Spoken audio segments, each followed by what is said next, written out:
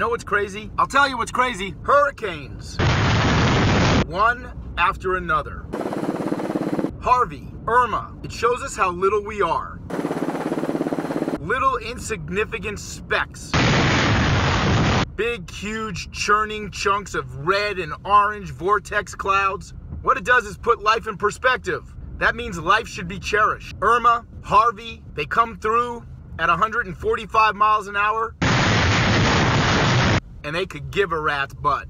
That's why you need to take care of your business, not sweat the small stuff. You know why? Because something somewhere out there is lurking and you can't control it because we're tiny little itty bitty specks in the universe. That means you need to life it up.